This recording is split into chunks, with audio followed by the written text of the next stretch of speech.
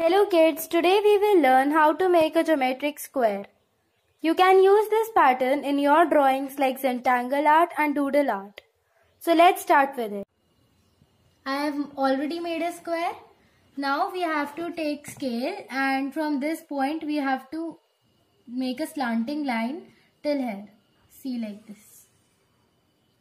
In the same way, from this point we have to make a slanting line till here.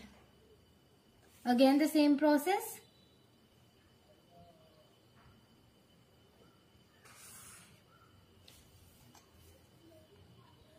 And again the same.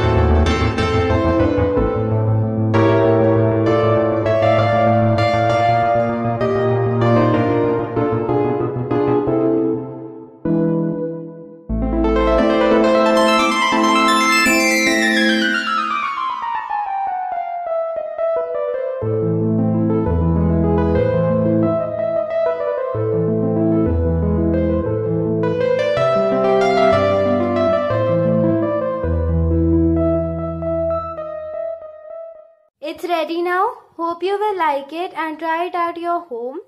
Please like, share and subscribe my channel. Also press the bell icon to get the latest information about my channel. Thank you. Bye bye.